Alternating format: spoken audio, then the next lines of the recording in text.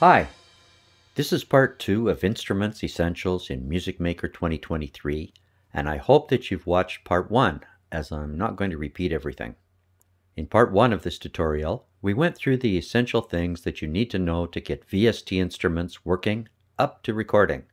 In this part two, we'll look at recording and the MIDI objects created. I'm using Music Maker 2023, which is version 31 something, along with Premium Edition 2022. You will probably see some things that you don't have, especially if you're using the free version. As I pointed out in part 1, an ASIO driver is needed to play VST instruments, so you should have already selected one under Program Settings, Audio MIDI tab, Audio Playback. I've selected the M Audio driver because I have an M Audio M Track interface.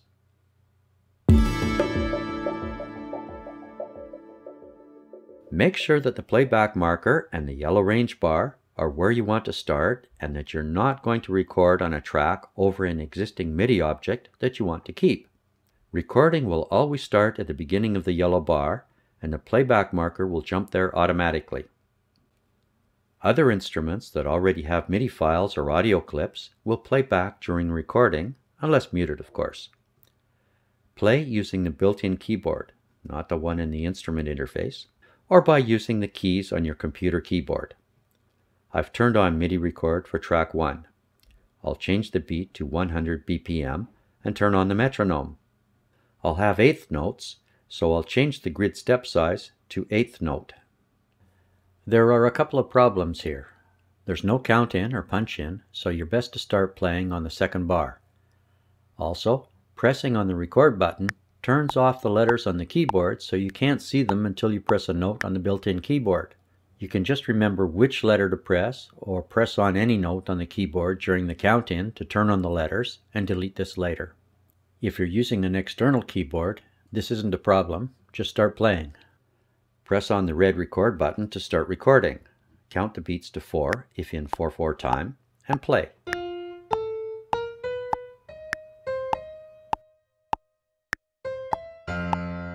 Press the spacebar to stop recording. A MIDI file is now on the arranger. Let's add in some drums, ideally using just the bass drum, a snare, and a cymbal. I'm not a drummer, so I'll do what I can and edit later. I'll track 4, Vita 2, acoustic drum kit ballad, and with a playback marker at the beginning, press record. Count in, and play along with the piano recording.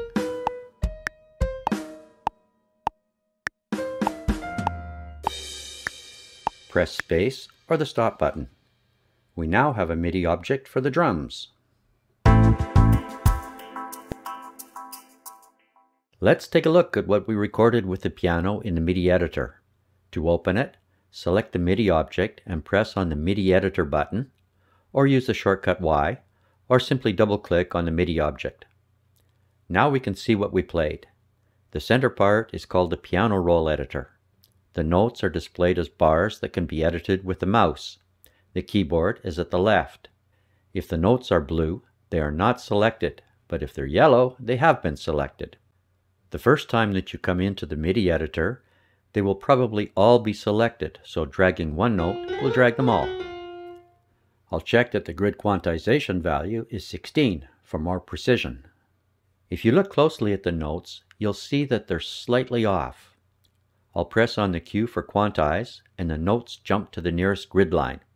Click in a blank area to turn off the selection of notes. Now I can adjust single notes. Selection mouse mode is turned on by default. You can move the notes around and extend or shorten the notes by using your mouse. To add a note, click on the pencil. Add the note. Turn off the pencil if not needed by clicking on the arrow to get back to selection mode. To remove a note, right-click on it. I'll fix up some of my notes to make some longer and to correct any errors, and I have several. You can turn on the MIDI event list that shows details of the notes in the order that they were played. Volume is controlled by the velocity, and you can turn this on by clicking on the Show Velocity button. You can adjust the velocity by adjusting the height of the bars from 1 to 100 or by typing in a value in the MIDI event list. I'll cover more of the basics of using the MIDI editor in another tutorial. It would be a good idea to look at the buttons and menus and start reading up on how to use the MIDI editor. I'll play back the modified arrangement.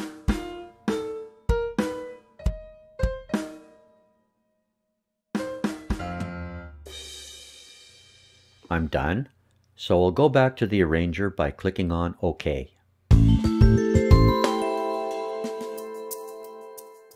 Drums are different. I'll select the drums object and open the MIDI editor.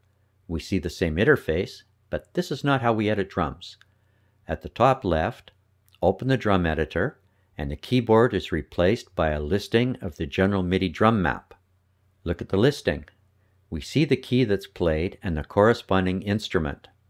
As I mentioned in part 1, B0 and C1 are the bass drum. The recorded notes, called events, are shown in the cells. Unlike other instruments, the events don't have a duration, thus make sure that you have the grid quantization value granular enough for your drum playing. I'll set this to 16 and press Q to quantize the drum notes. Clicking on one of the instruments will preview it and open a second line with more information.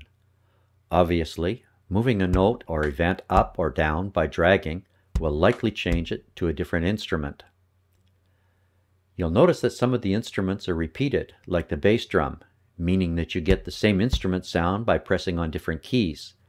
This is to facilitate playing.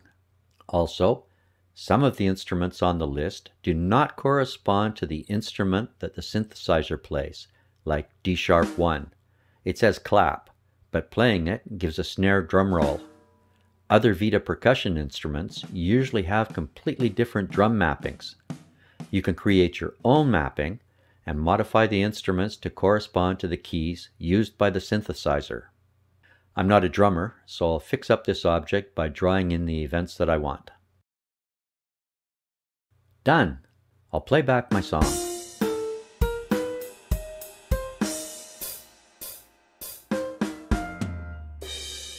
Hmm, need something more. I'll copy the piano MIDI object down to the Vita All Brass track by holding down Control and dragging to make a copy. I want to add a single brass note at the end, but with a downward slur and articulation. I'll go to the pot brass track, arm it, place the playback marker where I want the MIDI object, right click in a blank area, create a new object, create a new MIDI object, and select empty one bar. I can adjust the duration of the MIDI object by dragging the right end in or out. Just make sure that looping is not turned on. Double click to open the empty object. I checked where to put this with a last drum hit, so I'll draw a note there. I need an articulation. In the instrument editor, the articulation at D1 gives me the sound that I want.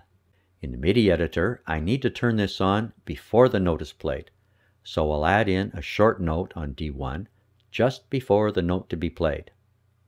Solo playback, and that is what I want. Okay, maybe some bass. I'll add in another instrument, Vita 2, then get basses and clear bass. I'll make another copy of the MIDI file, open it, and drag everything down one octave. Let's try that.